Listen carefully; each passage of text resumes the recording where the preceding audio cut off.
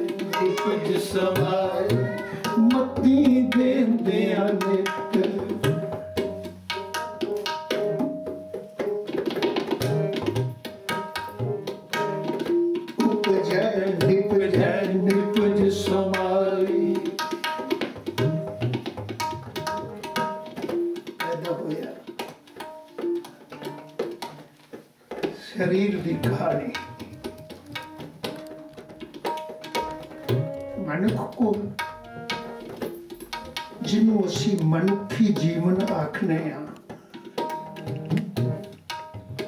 ਇਹਦੇ ਕੋਲ ਦੋ ਹੀ ਚੀਜ਼ਾਂ ਨੇ। ਬਾਕੀ ਤਾਂ ਅਡੰਬਰ ਹੈ, ਬਣਾਇਆ ਹੋਇਆ। ਦੋ ਚੀਜ਼ਾਂ ਨੇ ਜਿਹੜੀਆਂ ਇਹਨੂੰ ਮਿਲੀਆਂ ਨੇ।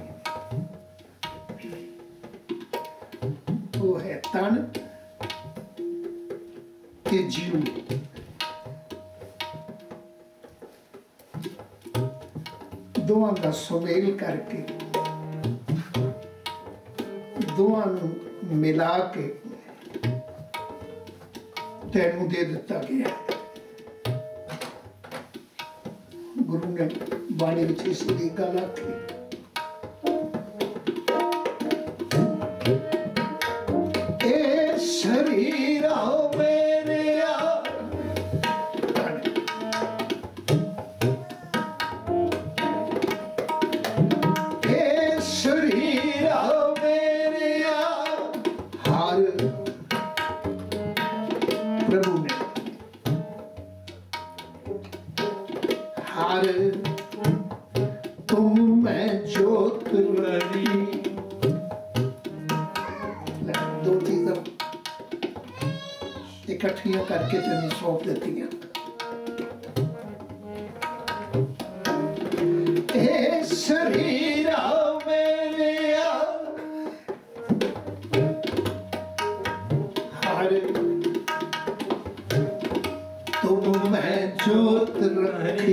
ਤਾਂ ਤੂੰ ਜਗ ਮੈਂ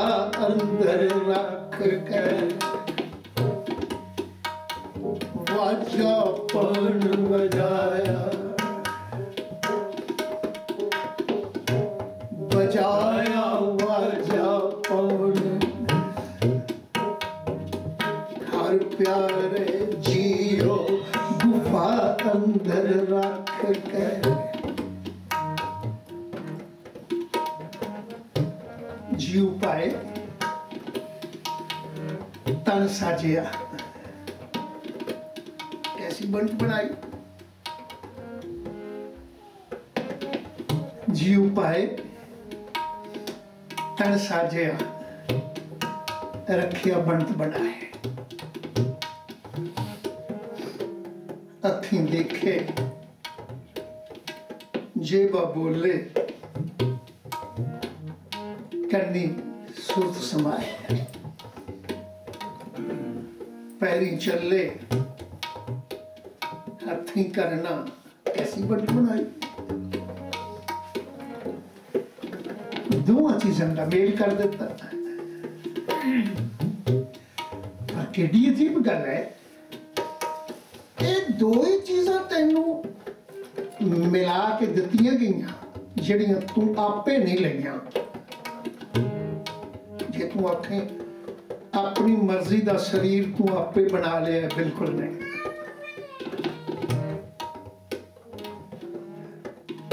ਜਾਂ ਤੂੰ ਆਖੇ, ਇਸ ਸਰੀਰ ਵਿੱਚ ਜੀਉ ਤੂੰ ਆਪਣੀ ਮਰਜ਼ੀ ਦਾ ਪਾ ਲਿਆ, ਬਿਲਕੁਲ ਨਹੀਂ। ਇਹ ਦੋਨੋਂ ਚੀਜ਼ਾਂ ਤੈਨੂੰ ਸਵੇਲ ਮਿਲ ਕੇ ਦਿੱਤੀਆਂ ਗਈਆਂ। ਬਾਕੀ ਸਾਰਾ ਕੁਝ ਜਿੰਨਾ ਸੰਸਾਰ ਦਾ ਅਡੰਬਰ ਹੈ, ਉਹ ਤੂੰ ਇੱਥੇ ਧਰਤੀ ਤੇ ਆ ਕੇ ਇਹਨਾਂ ਦੋ ਚੀਜ਼ਾਂ ਦੀ ਲੋੜ ਨੂੰ ਪੂਰੀ ਕਰਦਿਆਂ ਕਰਦਿਆਂ ਬਣਾ ਦਿੱਤਾ। ਬਣਾ ਦਿੱਤਾ। ਪਰ ਗੁਰੂ ਕਹਿੰਦੇ ਨੇ ਕਿਹੜੀ ਅਜੀਬ ਗੱਲ ਹੈ? ਦੋ ਚੀਜ਼ਾਂ ਦੇ ਸੰਬੰਧ ਵਿੱਚ ਤੂੰ ਜਾਣਦਾ ਹੀ ਕੁਝ ਨਹੀਂ।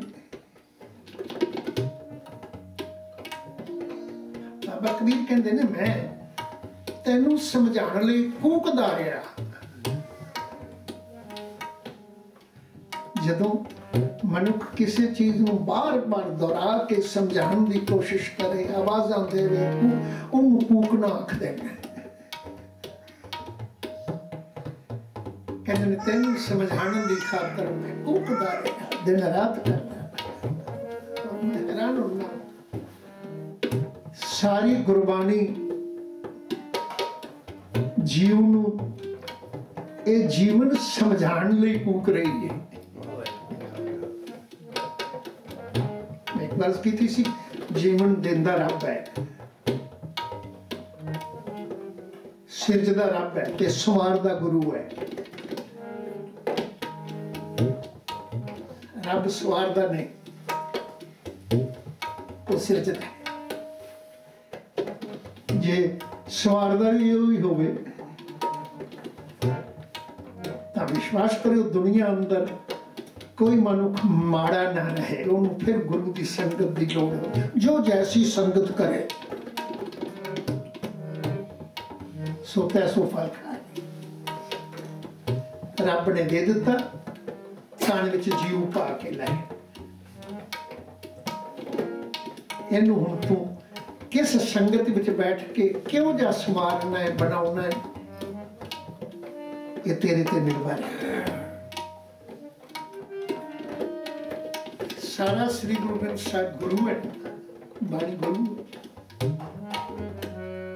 ਉਹ ਇਸ ਮਿਲੇ ਹੋਏ ਜੀਵਨ ਨੂੰ ਸਵਾਰਨ ਦੀ, ਸ਼ਿੰਗਾਰਨ ਦੀ ਤਰਤੀਬ ਦਿੰਦੇ ਨੇ। ਸਾਰਾ ਸ੍ਰੀ ਗੁਰੂ ਗ੍ਰੰਥ ਸਾਹਿਬ ਇਹੋ ਕੂਕ ਮੈਂ ਕਲਾਸ ਕੀ ਕਿਸੇ ਕਿਹੜੀ ਅਜੀਬ ਘਟਨਾ ਹੈ ਸਾਢੇ ਪੰਜ ਸੌ ਵਰਾ ਤਾਂ ਸਾਡੇ ਦੁਆਲੇ ਹੀ ਕੂਕਦੇ ਨੂੰ ਹੋ ਗਿਆ ਨਾ ਅਸੀਂ ਮੱਥਾ ਵੀ ਰੋਜ਼ ਟੇਕਨੇ ਆ ਪਰਿਕਰਮਾ ਵੀ ਕਰ ਰਹੇ ਆ ਗੁਰੂ ਬੋਲਦਾ ਵੀ ਹੈ ਕੁੱਕਦਾ ਦਿਨ ਰਾਤ ਸਾਨੂੰ ਸਮਝਾਉਣ ਦੀ ਕਾਰਨ ਤਾਂ ਕਿ ਤੈਨੂੰ ਪਤਾ ਲੱਗ ਜਾਏ ਆ ਦੋ ਚੀਜ਼ਾਂ ਜਿਹੜੀਆਂ ਤੈਨੂੰ ਮਿਲੀਆਂ ਨੇ, ਇਹ ਕੀ ਨੇ? ਨਾ ਮਨੁੱਖ ਅੱਜ ਤੱਕ ਤਨ ਨੂੰ ਸਮਝ ਸਕਿਆ, ਨਾ ਜੀਵ ਨੂੰ ਸਮਝ ਸਕਿਆ। ਹਟਾਈ ਜਾਂਦਾ ਹੈ।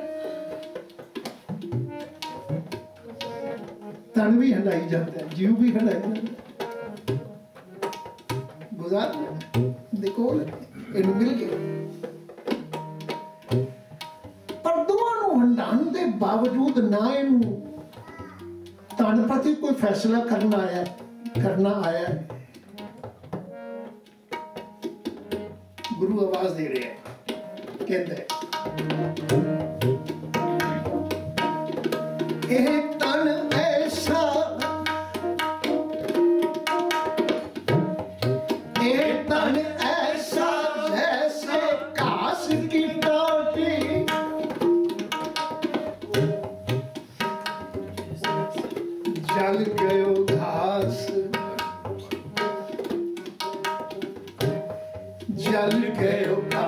ਬਸ ਰਲ ਗਇਓ ਪਾਟੀ। ਮਾਟੀ ਤੇ ਜਿਨ ਸਾਜਿਆ ਕਰ ਦੁਰਲਭ ਦੇ।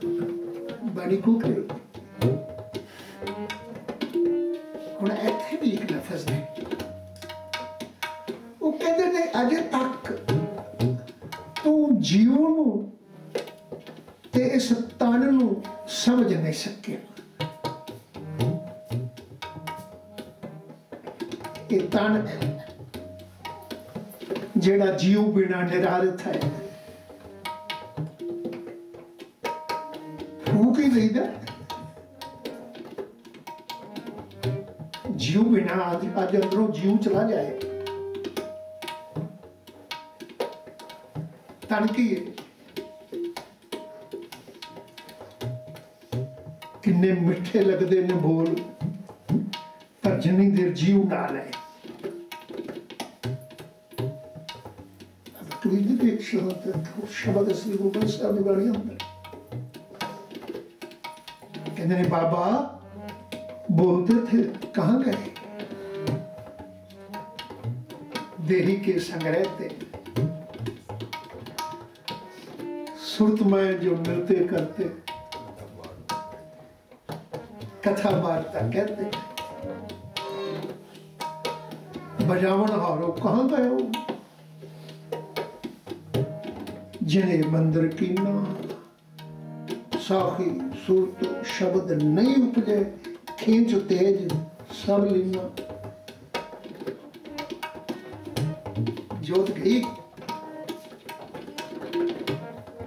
ਜ਼ਬਾਨ ਹੈ। ਜਿਸ ਜ਼ਬਾਨ ਤੋਂ ਨਿਕਲੇ ਹੋਏ ਬੋਲ ਸੁਣਨ ਲਈ ਲੋਕ ਤਰਸਦੇ ਸਨ। ਹੁਣ ਉਹ ਜ਼ਬਾਨ ਕਿਉਂ ਨਹੀਂ ਬੋਲਦੀ? ਨਿਤ ਮੈਂ ਜੋ कथा वार्ता कहते किधर गए सुरत में जो नृत्य करते कथा वार्ता कहते जबान तो है लोग सुनना भी चाहते हैं ऐसी गल नहीं जिन्हें चंगे बोलने ਹੁੰਦਾ ਐਂਡ ਕੋਈ ਨਹੀਂ ਲੋਕ ਐਸੀ ਗੱਲ ਕੋਈ ਨਹੀਂ ਹੁੰਦੀ ਤੋਂ ਨਫ਼ਰਤ ਕਰ ਸੁਣਨਾ ਚਾਹੁੰਦੇ ਪਰ ਲੋਕਾਂ ਦੇ ਜਾਂ ਸੁਣਾਉਣ ਵਾਲੇ ਦੇ ਵਾਸ ਵਿੱਚ ਥੋੜਾ ਬੋਲੀ ਜਾਏ। ਕਿੰਨੀ ਦੇਰ ਬੋਲੇਗਾ? ਬੋਲ ਖਾਮੋਸ਼ ਹੋ ਜਾਣਗੇ। ਮੂੰਹ ਹੈ, ਬੋਲ ਕੋਈ ਨਹੀਂ। ਜ਼ਬਾਨ ਹੈ, ਬੋਲ ਕੋਈ ਨਹੀਂ। ਕਿਉਂਕਿ ਜੋਤ ਦਾ ਸੁਮੇਲ ਸੀ, ਮੂੰਹ ਦੇ ਵਾਸ ਵਿੱਚ ਕੁਝ ਵੀ ਨਹੀਂ। ਉਹ ਤਾਂ ਤਣ ਦਾ ਹਿੱਸਾ ਜ਼ਬਾਨ ਮੂੰਹ ਤਣ ਦਾ ਹਿੱਸਾ ਹੈ। ਤੇ ਤਣ ਦੇ ਵਸ ਕੁਝ ਨਹੀਂ ਉਹ ਤਾਂ ਜੋਤ ਦੇ ਵਸ ਵਿੱਚ ਸੀ, ਜਿਹੜੀ ਮਿਲਾ ਕੇ ਨਾਲ ਰੱਖ ਕੇ ਦਿੱਤੀ। ਦੇਖਣਾ ਇਹ ਹੈ ਕਿ ਨਿਰੰਕਾਰ ਨੇ ਸਰੀਰ ਵਿੱਚ ਜੋਤ ਰੱਖ ਕੇ ਦਿੱਤੀ। ਲੈ, ਆ ਤਣ ਤੇ ਜੋਤ ਇਕੱਠੀ ਤੈਨੂੰ, ਕਿਉਂਕਿ ਕੰਮ ਤਣ ਨੇ ਤਾਂ ਹੀ ਕਰਨਾ ਜੇ ਜੋਤ ਅੰਦਰ ਹੈ। ਦੇਖਣਗੀਆਂ ਉਦੋਂ ਤੱਕ, ਜਦੋਂ ਤੱਕ ਜੋਤ ਅੰਦਰ ਕੰਨ ਸੁਣਨਗੇ ਉਦੋਂ ਤੱਕ, ਜਦੋਂ ਤੱਕ ਜੋਤ ਅੰਦਰ ਹੈ। ਪੈਰ ਚੱਲਣਗੇ। ਈਵਨ ਸੁਰਤ ਸੋਚ ਵੀ ਜਿਹੜੀ ਹੈ, ਉਹ ਉਦੋਂ ਤੱਕ ਕੋਈ ਫੈਸਲਾ ਕਰੇਗੀ ਜਿੰਨੀ ਦੇਰ ਜੋਤ ਅੰਦਰ ਹੈ। ਦੋਨੋਂ ਚੀਜ਼ਾਂ ਮਿਲ ਗਈਆਂ ਨੇ। ਪਰ ਕਹਿਣ ਲੱਗੇ, ਇੱਕ ਚੀਜ਼ ਸਮਝ ਲੈ ਤੇ ਉਹਨਾਂ ਦੋਹਾਂ ਦੇ ਰਿਸ਼ਤੇ ਵਿੱਚੋਂ ਜਿਹੜੀ ਚੀਜ਼ ਤੈਨੂੰ ਸਮਝਾਉਣਾ ਚਾਹੁੰਦੇ ਨੇ ਬਾਬਾ ਕਬੀਰ ਵੀ, ਸ੍ਰੀ ਗੁਰੂ ਗ੍ਰੰਥ ਸਾਹਿਬ ਦੇ ਰੂਪ ਵਿੱਚ ਗੁਰੂ ਵੀ ਆਪਣੇ ਆਪਣੇ ਸਮੇਂ ਅੰਦਰ ਉਹ ਇਹ ਕਿ ਤੂੰ ਜੋਤ ਵਿੱਚ ਤੇ ਸਰੀਰ ਵਿੱਚ ਕੀ ਫ਼ਰਕ ਹੈ, ਇਹਨੂੰ ਜਾਣ ਲੈ। ਕਹਿੰਦੇ ਕਿ ਮੈਂ ਤੈਨੂੰ ਗੱਲ ਕਿਉਂ ਸਮਝਾਉਣਾ ਚਾਹਨਾ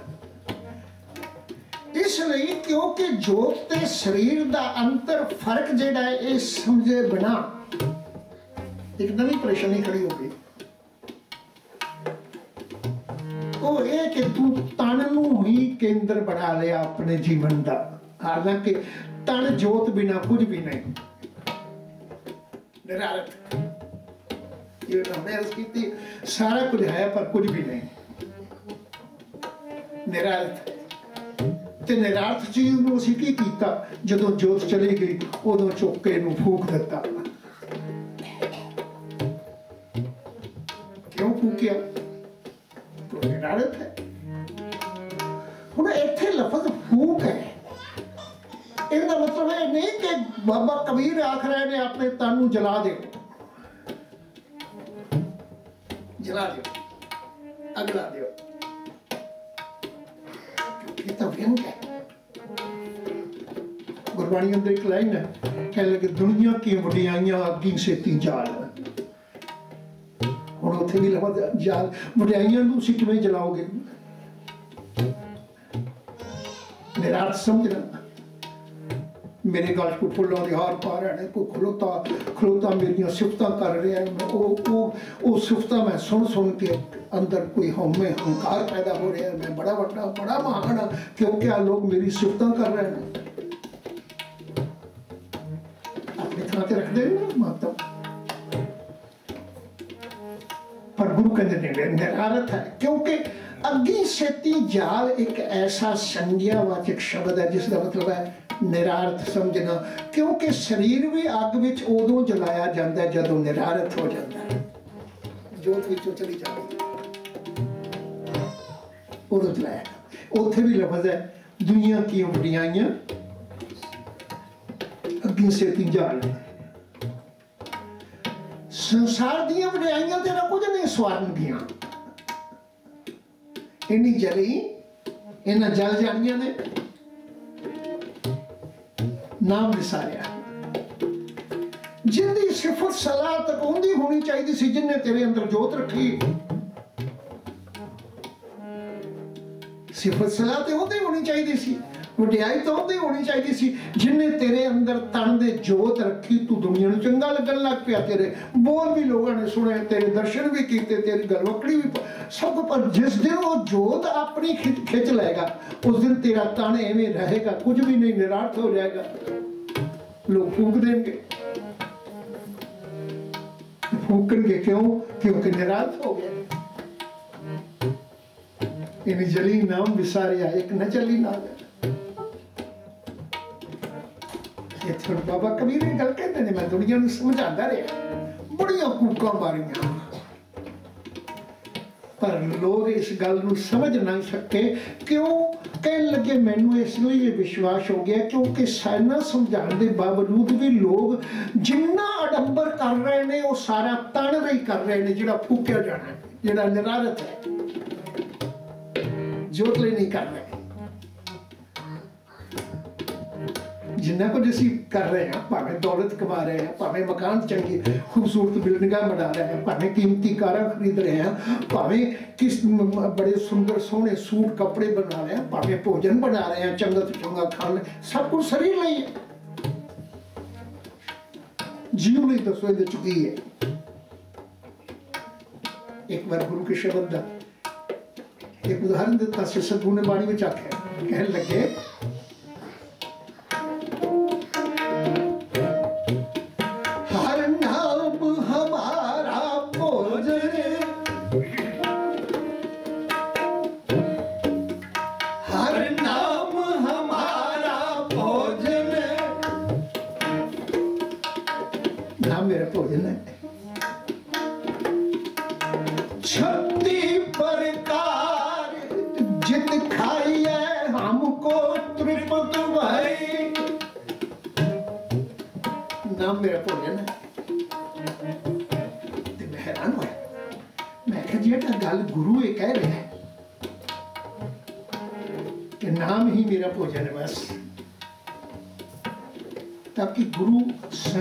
ਭੋਜਨ ਨਹੀਂ ਸਿਖਾਉਂਦਾ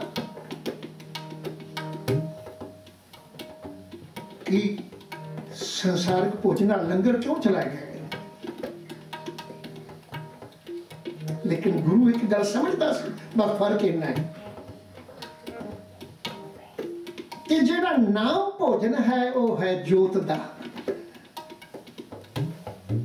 ਤੇ ਜਿਹੜਾ ਲੰਗਰ ਭੋਜਨ ਅਸੀਂ ਕਹਿੰਦੇ ਆ ਨਾ ਜਿਹੜਾ 36 ਪ੍ਰਕਾਰ ਦਾ ਦੁਨੀਆ ਵਿੱਚ ਬਣਾਣਿਆ ਇਹ ਸਾਡੇ ਤਣ ਦਾ ਇਹ ਮਾਲ ਨਹੀਂ ਬਣਵਾ ਲਾਣੀ ਜਿਸ ਦਿਨ ਜੋ ਚਲੀ ਗਈ, ਤਣ ਦੇ ਮੂੰਹ ਵਿੱਚ ਭੋਜਨ ਪਾ ਕੇ ਵਿਖਾਇਓ। ਨਹੀਂ ਜਾਏਗਾ। ਗੁਰੂ ਆਖ ਰਿਹਾ ਹੈ ਹਰ ਨਾਮ ਹਮਾਰਾ ਭੋਜਨ ਹੈ। ਗੁਰੂ ਜੋਤ ਹੈ। ਗੁਰੂ ਜੋਤ ਹੈ। इसलिए आखिर हर नाम हमारा भोजन छत्ती प्रकार, जित खाइए हमको तृप्त भई। ते अगली लाइन में चाहते है हर नाम हमारा पेन। मेरे कपड़े, मेरा सूट, मेरा चोला, सब कुछ। नाम। हर नाम हमारा पेन। जित फिर नंगे न हो गई और पेन की हमारी शर्त गई। कहने लगे, मैं और पेन नहीं चाहता ਤੇ ਕੀਤੀ ਸੀ। ਮੈਂ ਕਿਹਾ, ਕਿ ਇਹਦਾ ਮਤਲਬ ਜੇ ਅਸੀਂ ਦੁਨਿਆਵੀ ਨਜ਼ਰੀਏ ਨਾਲ ਇਹਦੇ ਅਰਥ ਕਰੀਏ, ਤਾਂ ਕੀ ਗੁਰੂ ਕੱਪੜੇ ਨਹੀਂ ਸੀ ਪਾਉਂਦਾ? ਗੁਰੂ ਵਸਤਰ ਨਹੀਂ ਸੀ ਪਾਉਂਦਾ। ਇਹ ਤੋਂ ਸਾਬਤ ਹੁੰਦਾ ਕਿ ਗੁਰੂ ਦੇ ਨਹੀਂ। ਗੁਰੂ ਜੋਤ ਹੈ ਕਹਿੰਦਾ ਤਨ ਮੈਨੂੰ ਮਿਲਿਆ ਹੈ। ਤਨ ਲਈ ਕੱਪੜੇ ਪਾਉਣਾ, ਪਰ ਮੈਂ ਜੋਤ ਨਾਲ ਸੰਬੰਧ ਹਾਂ ਸੰਬੰਧਤ अब तो जाए चढ़े सिंहासन मिल है सारंग पानी राम कबीर आए एक भय है कोई न सके पछाने इसलिए मेरा भोजन वो है मेरे कपड़े वो ने हर नाम हमारा पहनन जित फिर नंगे ना हो गई और पहनन की हमारी शर्त गई ਤਨ ਤੇ ਜੀਵ ਨੂੰ ਸਮਝ ਲਿਆ ਇਹ ਸਮਝਾਉਣ ਦੀ ਕੋਸ਼ਿਸ਼ ਵੀ ਸਾਨੂੰ ਸਾਢੇ 550 ਵਾਰਾ ਬੀਤ ਗਿਆ ਕਰਦਿਆਂ ਨੂੰ ਕਿ ਇਹ ਵੀ ਸਮਝ ਜਾਣ ਤਨ ਕੀ ਹੈ ਤੇ ਜੋਤ ਕੀ ਹੈ। ਜੀਵ ਕੀ ਬਾਬਾ ਕਬੀਰ ਕਹਿੰਦਾ ਮੈਂ ਕੂਕ ਕੂਕ ਕੇ ਥੱਕ ਗਿਆ। ਅੱਜ ਤੱਕ ਮਨੁੱਖ ਇਹ ਨਹੀਂ ਸਮਝ ਸਕਿਆ ਕਿ ਇਹ ਜਿਹੜਾ ਤਨ ਫੂਕ ਦਿੱਤਾ ਜਾਣਾ ਹੈ, ਨਿਰਾਰਥ ਹੋ ਜਾਣਾ ਹੈ ਜੀਵ ਬਿਨਾ, ਉਹਦੇ ਲਈ ਸਭ ਕੁਝ ਕਰੀ ਜਾਂਦਾ, ਜੀਵ ਲਈ ਕੁਝ ਕਰਦਾ ਹੀ ਨਹੀਂ। ਸੋਹਣੇ ਸੋਹਣੇ ਖੂਬਸੂਰਤ ਘਰ ਬਣਾਈ ਜਾਂਦਾ ਤਣ ਲਈ। ਦੌਲਤ ਇਕੱਠੀ ਕਰੀ ਜਾਂਦਾ ਤਣ ਲਈ। ਸੋਹਣੇ ਬਸਤਰ ਬਣਾਈ ਜਾਂਦਾ ਤਣ ਲਈ। ਤਰ੍ਹਾਂ ਤਰ੍ਹਾਂ ਦੇ ਭੋਜਨ ਸਜਾਈ ਜਾਂਦਾ ਤਣ ਲਈ। ਸਭ ਕੁਝ ਇਹ ਲਈ ਕਰੀ ਜਾਂਦਾ ਜੀਵ ਨਹੀਂ ਕੁਝ ਕਰਦਾ ਹੀ।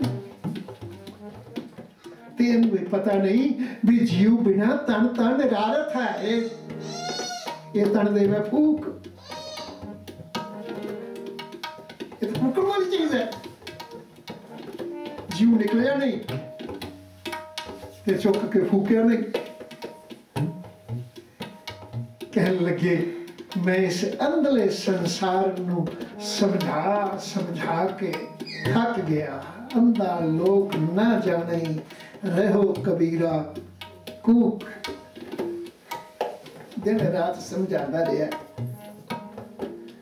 ਪਰ ਇਹ ਮਨੁੱਖ ਜਿਹੜਾ ਸੀ, ਇਹ ਸਾਰਾ ਜੀਵਨ ਆਪਣੇ ਤਨ ਤੇ ਹੀ ਲਗਾ ਬੈਠਾ ਮੈਂ ਜੋ ਪਿਛਲੇ ਦਿਨ ਗੱਲ ਕੀਤੀ ਸੀ, ਹੁਣ ਤਾਂ ਹਾਲਤ ਇਹ ਹੋ ਗਈ ਕਿ ਮਨੁੱਖ ਨੇ ਰੱਬ ਵੀ ਤਨ ਨੂੰ ਹੀ ਆਖ ਦਿੱਤਾ। ਕਿ ਮੇਰਾ ਤਾਂ ਰੱਬ ਹੀ ਤਨ ਹੈ। ਇੱਥੇ ਪਹੁੰਚ ਗਿਆ। ਮਨੁੱਖ ਤਨ ਨੂੰ ਹੀ ਸਭ ਕੁਝ ਸਮਝ ਬੈਠਾ। ਆਪਣਾ ਜੀਵਨ ਦਾ ਸਾਰਾ ਦਾਰੋ ਮਦਾਰ ਤਨ ਤੇ ਖੜਾ ਕਰ ਲਿਆ। ਹਾਲਾਂਕਿ ਬਾਰ-ਬਾਰ ਗੁਰੂ ਨੇ ਸਮਝਾਇਆ, ਤਨ ਨਾਸ਼ਵੰਤ ਹੈ। ਤਨ ਅਬਨਾਸ਼ੀ ਨਹੀਂ। ਤੇ ਜੀਵ ਦੇ ਸੰਬੰਧ ਵਿੱਚ ਬਾਰ-ਬਾਰ ਸਮਝਾ ਦਿੱਤਾ ਕਿ ਉਹ ਮਰਦਾ ਨਹੀਂ, ਜੀਵ ਆਤਮਾ ਮਰਦੀ ਨਹੀਂ। ਤਨ ਜਿਹੜਾ ਹੈ, ਉਹ ਹਮੇਸ਼ਾ ਰਹਿੰਦਾ ਨਹੀਂ।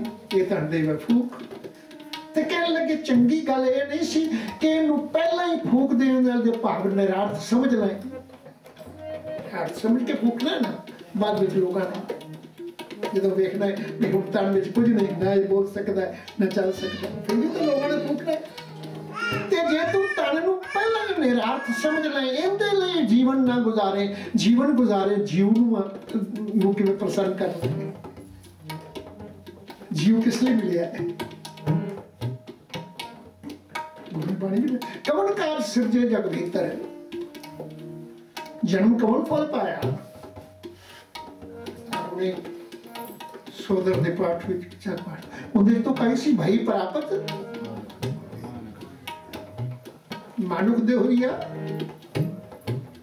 ਗੋਬਿੰਦ ਮਿਲਨ ਕੀ ਤੇਰੀ ਬਰੀਆ? ਅਵਰ ਕਾਜ ਤੇਰੇ ਕਿਤੇ ਨਾ ਕਾਮ। ਤੈਨੂੰ ਪਤਾ ਹੋਵੇ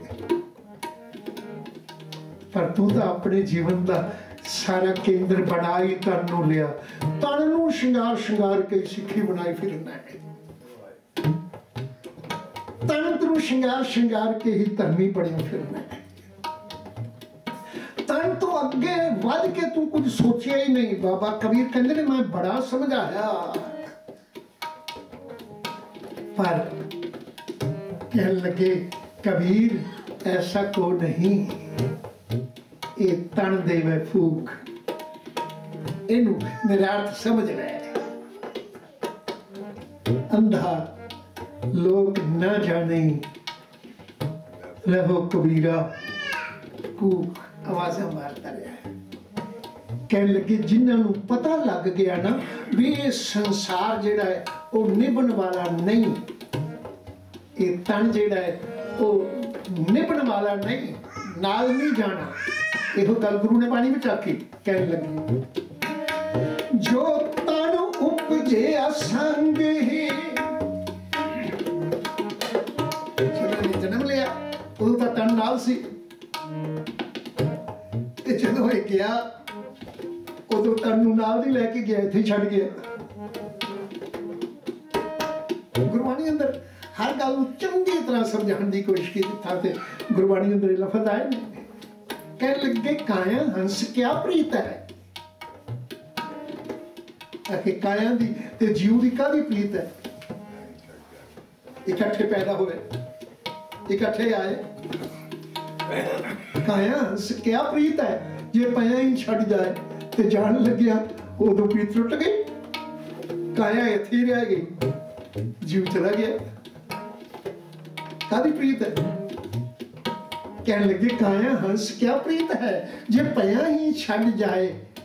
ਕਹਿਣ ਲੱਗੇ ਦੂਜੇ ਪਾਸੇ, ਇਹ ਨਹੀਂ ਵੀ ਜੀਵ ਨੇ ਕਾਇਆ ਨਾਲ ਪ੍ਰੀਤ ਨਹੀਂ ਕੀਤੀ, ਕਾਇਆ ਨੇ ਵੀ ਆਪਣੀ ਵਫਾਦਾਰੀ ਨਹੀਂ ਨਿਭਾਈ। ਇਹ ਉੱਠ ਕੇ ਨਾਲ ਤੋਂ ਪੈਂਦੀ। ਕਿ ਤੂੰ ਸਾਰੀ ਜ਼ਿੰਦਗੀ ਮੈਨੂੰ ਪਾਲਦਾ ਰਿਹਾ, ਝੂਠ ਬੋਲ ਕੇ, ਫਰੇਬ ਕਰਕੇ ਮੇਰੇ ਲਈ ਸੋਹਣੇ ਕੱਪੜੇ, ਸੂਟ ਬਣਾਏ, ਝੂਠ ਬੋਲ ਕੇ, ਫਰੇਬ ਕਰਕੇ ਮੇਰੇ ਲਈ ਸੋਹਣੇ ਭੋਜਨ ਤਿਆਰ ਕੀਤੇ। ਤੂੰ ਮੈਨੂੰ ਇੰਨਾ ਪਾਲਿਆ, ਸੰਭਾਲਿਆ ਅਨਿਤ ਯਤਨ ਕਰ ਕਾਇਆ ਪਾਲੀ? ਅਨੇਕਾਂ ਤਰ੍ਹਾਂ ਨਾਲ ਤੂੰ ਮੇਰੀ ਸੰਭਾਲ ਕਰਦਾ ਰਿਹਾ। ਅੱਜ ਤੂੰ ਮੈਨੂੰ ਨਹੀਂ ਯਾਦ ਕੀਤਾ, ਚਲੋ ਮੈਂ ਹੀ ਉੱਠ ਕੇ ਤੇਰੇ ਨਾਲ ਤੁਰ ਪਵਾਂ। ਗੁਰੂ ਨੇ ਬਾਣੀ ਵਿੱਚ ਆਖਿਆ ਕਹਿਣ ਲੱਗੇ, ਕਾਇਆ ਹੰਸ ਕਿਆ ਪ੍ਰੀਤ ਹੈ? ਜੇ ਪਿਆ ਹੀ ਛੱਡ ਜਾਏ ਤੇ ਅਗਲੀ ਲਾਈਨ ਵਿੱਚ ਕਹਿਣ ਲੱਗੇ, ਇਸ ਨੂੰ ਕੂੜ ਬੋਲ ਬੋਲ ਖਵਾਲੀਏ ਚੌਦਿਆਂ ਨਾਲ ਨਾ ਜਾਏ। ਕੂੜ ਬੋਲ ਬੋਲ ਕੇ, ਝੂਠ ਬੋਲ ਬੋਲ ਬੋਲ ਕੇ ਇਸ ਕਾਇਆ ਨੂੰ ਪਾਲਦਾ ਰਿਹਾ, ਖਵਾਲਦਾ ਰਿਹਾ। ਇਹ ਵੀ ਉੱਠ ਕੇ ਚਲਦਿਆਂ ਨਾਲ ਨਹੀਂ ਗੁਰੂ ਨੇ ਬਾਣੀ ਵਿੱਚ ਆਖਿਆ, ਜੋ ਤਨ ਉਪਜਿਆ ਸੰਗ ਹੀ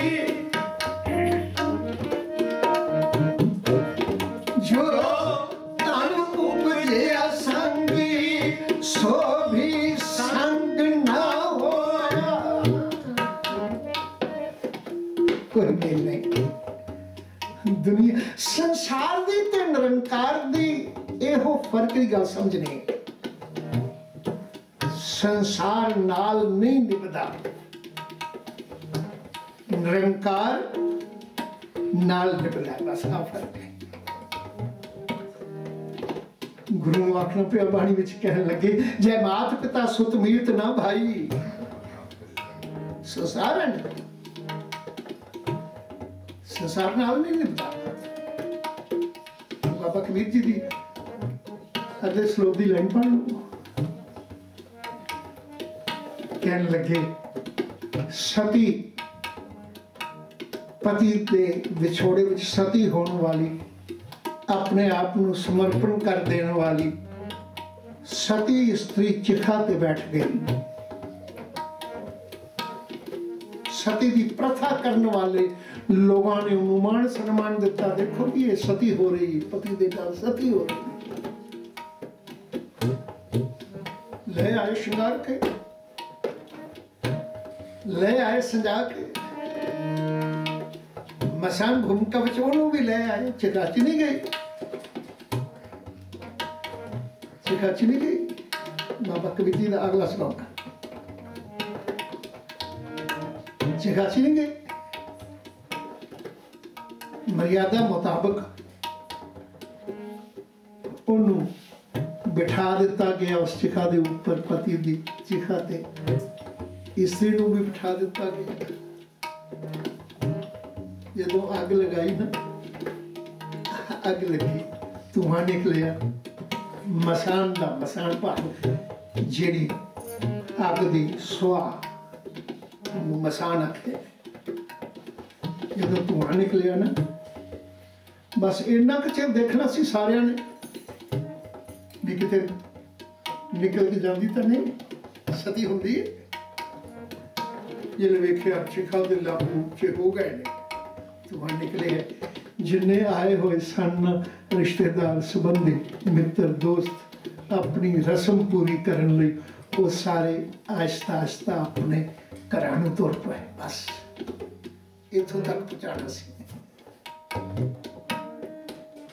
ਗੁਰੂ ਦੇ ਇੱਕ ਥਾਂ ਤੇ ਨਹੀਂ ਬਹੁਤ ਥਾਵਾਂ ਤੇ ਬੜਾ ਸਪਸ਼ਟ ਕੀਤਾ। ਕਹਿਣ ਲੱਗੀ, ਦੇਹੁਰੀ ਲੋ ਬਰੀ, ਨਾਰ ਸੰਗ ਭਈ ਅੱਗੇ ਸੱਜਣ ਸੁਹੇਲਾ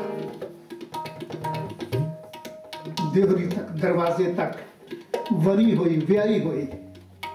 ਔਰਤ ਨਾਲ ਆਈ ਦਰਵਾਜ਼ੇ ਤੱਕ। ਦੇਹੁਰੀ ਲਓ ਬਰੀ ਨਾਲ ਸੰਗ ਭਈ ਅੱਗੇ ਸੱਜਣ ਸੁਹੇਲਾ, ਅੱਗੇ ਰਿਸ਼ਤੇਦਾਰ ਮਿੱਤਰ ਦੋਸਤ ਸੰਬੰਧੀ ਲੈ ਕੇ ਤੁਰ ਪਏ ਉਹਦਾ ਕੰਮ ਉੱਥੋਂ ਤੱਕ ਸੀ। ਦੇਹੁਰੀ ਲੋ ਬਰੀ ਨਾਲ ਸੰਗ ਭਈ, ਅੱਗੇ ਸੱਜਣ ਸੁਹੇਲਾ। ਮਰਗਟ ਲਓ ਸਭ ਲੋਕ ਕੁਟੁੰਬ ਭਾਈ ਉਹ ਵੀ ਜਿਹੜੇ ਨਾਲ ਗਏ ਸਨ ਨਾ ਕੁਟੁੰਬੀ ਉਹ ਵੀ ਸਿਰਫ ਮਸਾਨ ਤੋਂ ਕਤਾ ਉਹਨਾਂ ਨੇ ਨਾਲ ਥੋੜਾ ਜਾਣਾ ਸੀ। ਦੇਹਰੀ ਲੋਬਰੀ ਨਾਰ ਸੰਗ ਭਈ, ਆਗੇ ਸੱਜਣ ਸੁਹੇਲਾ। ਮਰਗਟ ਲਓ ਸਭ ਲੋਕ, ਕੁਟੁੰਬ ਭਇਓ ਆਗੇ ਹੰਸ ਅਕੇਲਾ ਉੱਥੇ ਕਦੇ ਹੀ ਰਹਿ ਗਿਆ ਇਹੋ ਗੱਲ ਅਗਲੇ ਸ਼ਲੋਕ ਵਿੱਚ ਬਾਬਾ ਕਬੀਰ ਜੀ ਨੇ ਆਪ ਦਿੱਤੀ। ਕਹਿਣ ਲੱਗੇ, ਸਤੀ ਨੂੰ ਚਿਖਾ ਤੇ ਬਿਠਾ ਕੇ, ਅੱਗ ਦਾ ਲਾਂਬੂ ਲਾ ਕੇ, ਜਦੋਂ ਧੂਆਂ ਉੱਠਿਆ, ਜਦੋਂ ਸ਼ੋਲੇ ਉੱਠੇ ਤੇ ਜਿਹੜੇ ਕੁਟੁੰਬੀ ਰਿਸ਼ਤੇਦਾਰ ਸੰਬੰਧੀ ਆਏ ਹੋਏ ਸਨ, ਪਤੀ ਦੀ ਚਿਖਾ ਤੇ ਸਤੀ ਕਰਨ ਵਾਸਤੇ ਉਹ ਰਸਮ ਪੂਰੀ ਕਰਨ ਲਈ ਉਹ ਵੀ ਸਾਰੇ ਵਾਪਸ ਤੁਰ ਪਏ। ਵਾਪਸ ਤੁਰ ਪਏ। ਤੇ ਚਿਖਾ ਤੇ ਬੈਠੀ ਹੋਈ ਸਤੀ ਉਸ ਮਸਾਨ ਦੇ ਲਾਂਬੂਆਂ ਨੂੰ ਮੁਖਾਤਬ ਕਰਕੇ ਇੱਕ ਲਫ਼ਜ਼ ਕਹਿੰਦੀ ਹੈ, ਜਿਹੜੇ ਬਾਬਾ ਕਬੀਰ ਰੱਖਦੇ ਨੇ ਅਗਲੇ ਸ਼ਲੋਕ ਵਿੱਚ। ਤੇ ਕਹਿੰਦੇ ਨੇ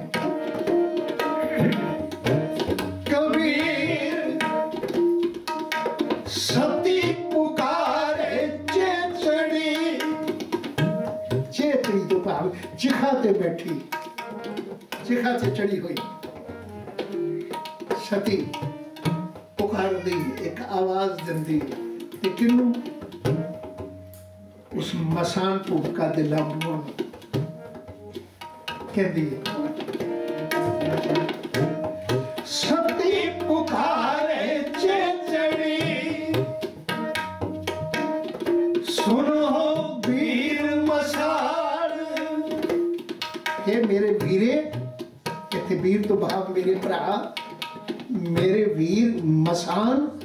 ਮਸਾਨ ਭੂਮਿਕਾ ਦੇ ਸ਼ੋਲੇ ਅੱਗ ਵਿਸ਼ਵਾਸ ਕਰ ਲੋਕ ਸਮਾਇਆ ਚੱਲ ਗਏ ਹੋ ਇਹ ਜਿਹੜੇ ਆਏ ਸਨ ਨਾ ਮੈਨੂੰ ਸਤੀ ਦੀ ਮਰਿਆਦਾ ਪੂਰੀ ਰਸਮ ਪੂਰੀ ਕਰਨ ਲਈ ਇੱਥੇ ਲੈ ਕੇ ਆਏ ਸਨ ਉਹ ਚਲੇ ਗਏ ਬਸ ਹੁਣ ਤੂੰ ਤੇ ਮੈਂ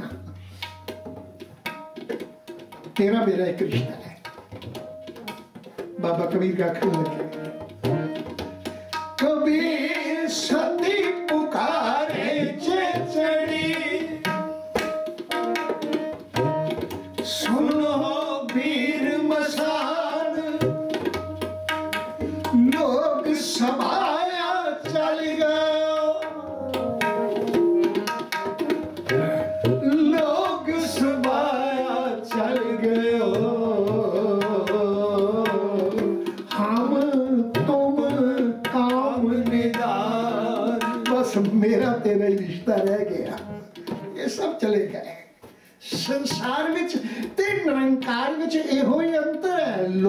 ਛੱਡ ਕੇ ਚਲੇ ਜਾਂਦੇ ਨੇ ਦੁਨੀਆ ਕਦੀ ਸਾਥ ਨਹੀਂ ਦਿੰਦੀ, ਜਿਸ ਦੁਨੀਆ ਪਿੱਛੇ ਮਨੁੱਖ ਆਪਣਾ ਜੀਵਨ ਗੁਜ਼ਾਰ ਰਿਹਾ ਹੈ।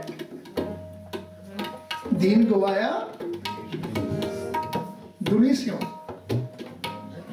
ਦੀਨ ਗਵਾਇਆ, ਦੁਨੀ ਸਿਓ ਤੇ ਨਾਲ ਕਹਿਣ ਲੱਗੇ, ਦੁਨੀ ਨਾ ਚਾਲੀ ਸਾਥ। ਪਾਏ ਕੋਹੜਾ ਮਾਰਿਆ, ਗਾਫਲ ਆਪਣੇ ਹੱਥ।